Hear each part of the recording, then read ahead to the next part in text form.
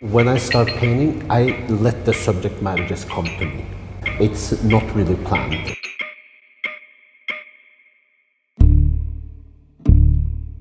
So Bjarne, here we are, Here we are. and um, 14 paintings Yes. installed in a really brilliantly good way. Yeah.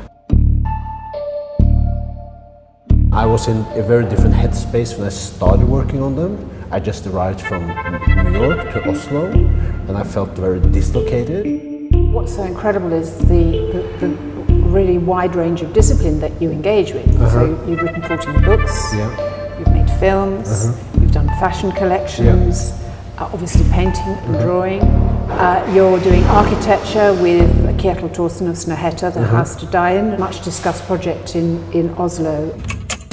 It's an exhibition in two parts. An Instagram project co-curated by you and Elise by Olsen. The youngest editor in the Yeah, world at yeah. Uh-huh. 14 of a magazine called Recens, which you just stepped down from. the reason we're doing it that galleries and and you know the art world is you know they haven't really embraced the di- digital format Yeah. to the fullest. We wanted to extend the show like into different proportions and then you came up with the idea of doing this Instagram show. Uh, it doesn't directly reflected international art world, but more like the Oslo contemporary art scene. And that it was supposed to be a time capsule for like you can look back at it and like for six weeks you can see what happened in Oslo at exactly that time.